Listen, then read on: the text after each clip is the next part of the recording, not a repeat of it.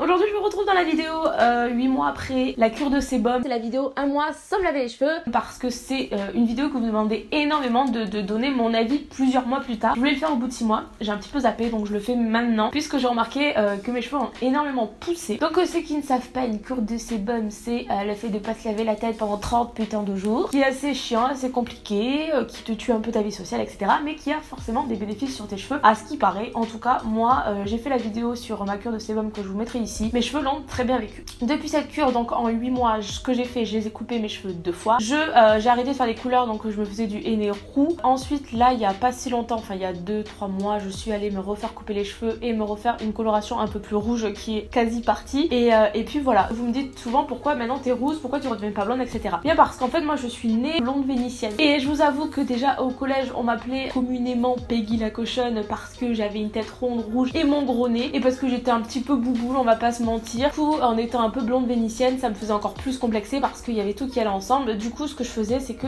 dès, dès le plus jeune âge, enfin dès la 6ème, 5ème, je pense, j'ai commencé à euh, blondir mes cheveux. Faut savoir qu'aussi en grandissant, mes cheveux ont pas mal blondi. Donc à chaque fois, je blondissais mes cheveux avec des shampoings américains, etc. Sauf que euh, le roux revenait tout le temps à la surface. Du coup, ce que j'ai fait, c'est que euh, à 25 ans, j'ai décidé, enfin 24 ans et demi, j'ai décidé que fuck d'aller chez le coiffeur tous les mois pour enlever les reflets roux, fuck de tout essayer pour enlever les reflets roux. Quoi qu'il en soit, j'ai mes cheveux qui sont roux et qui deviennent roux. Donc je vais jouer avec le. C'est pour ça que maintenant je galère beaucoup moins avec ma couleur de cheveux, j'ai moins besoin d'aller chez le coiffeur et je peux plus prendre soin de mes cheveux. En toute sincérité, c'est la première fois que j'ai les cheveux aussi longs. Donc là, les bouts sont un peu cramés, donc euh, de toute façon, je vais chez le coiffeur bientôt. La première fois que j'ai les cheveux aussi longs et en aussi bonne santé. On va dire que bon, j'ai dû avoir les cheveux par là étant un peu plus jeune. C'était mes cheveux, ils étaient tout flasques, enfin c'était pas du tout la même chose que là. Oh, je vais faire que toucher mes cheveux, c'est insupportable. Voilà, après là, il m'arrive en dessous du, euh, du derrière à peu près. J'ai pas de soutif donc je peux pas vous dire. Alors, qu'est-ce qui a changé euh, après cette cure de sébum Qu'est-ce que j'en ai pensé Qu'est-ce que j'en pense aujourd'hui, etc. C'est à peu près ce à quoi je vais répondre quasi un an plus tard du coup parce que ça fait 8 mois. À la suite de la cure de sébum, j'ai pris les bons réflexes d'essayer de me laver la tête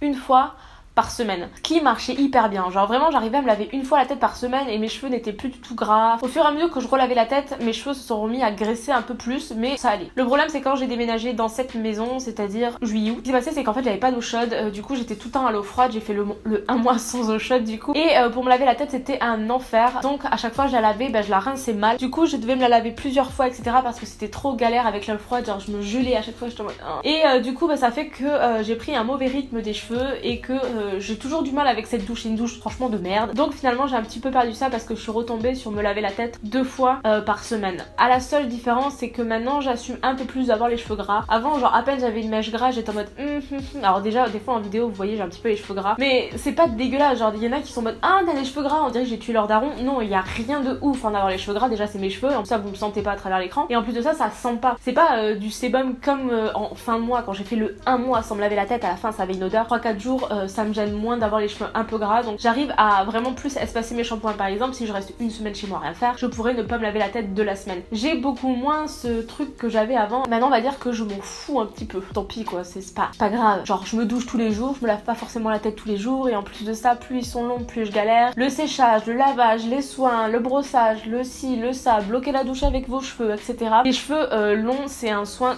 considérable et je les ai pas super longs je les ai juste longs hein. mais c'est vraiment des soins des soins et un coup dans les soins c'est pour ça que aujourd'hui j'ai les cheveux longs comme jamais parce qu'aujourd'hui j'ai l'argent à mettre dans mes soins. Même si euh, je fais pas des trucs de ouf, hein, je vais mettre des huiles, je vais mettre des bons shampoings, je vais essayer de faire des trucs à la coco. Euh, bref, je vais tenter l'huile de ricin, etc. etc. Bref, je m'en occupe hyper bien. Sauf que euh, voilà, ça me prend un temps fou. Donc tout le temps j'ai cette petite envie de me dire Ah, t'aimerais pas recouper tes cheveux comme quand t'avais avant le carré. Mais voilà, je ne regrette absolument pas d'avoir fait cette cure de sébum. Je pense que j'en referai dans ma vie, il n'y a pas de souci, mais vraiment pas de souci là-dessus. Donc voilà, le bilan un an plus tard est assez positif. Comme vous pouvez voir, je trouve pas que mes cheveux ont poussé plus que ce qu'auraient poussé des cheveux normaux, c'est-à-dire à peu près de 1-5 cm par mois. Je pense pas que mes cheveux ont poussé plus vite parce que j'ai fait une cure de sébum, je pense juste qu'ils ont poussé de façon normale et que comme ils étaient mieux nourris, ils sont peut-être devenus un peu plus résistants, etc. Aujourd'hui j'ai une masse capillaire assez volumineuse, bon là beaucoup moins parce que plus ils poussent, plus ils tombent vers le bas. Voilà, je regrette vraiment rien et euh, je vous conseille vraiment de le faire si ça vous tente, surtout cet hiver, vous pouvez mettre des bonnets, vous pouvez mettre plein de choses et cacher un peu la, la misère qu'il y a là-dessous. Et en plus de ça, j'ai envie de vous demander, je me tâte entre deux couleurs, cette couleur et cette couleur. N'hésitez pas à me dire laquelle vous préférez. Donc si vous avez à voter avant, tant mieux. Si vous avez voté après, bah vous verrez euh, dans les vlogs. Parce que je sais pas si vous avez vu, j'ai intégré des vlogs sur ma chaîne. Et sur chaque vlog, j'ai envie d'intégrer un petit truc avec des sujets un peu tabous, des questions-réponses, etc.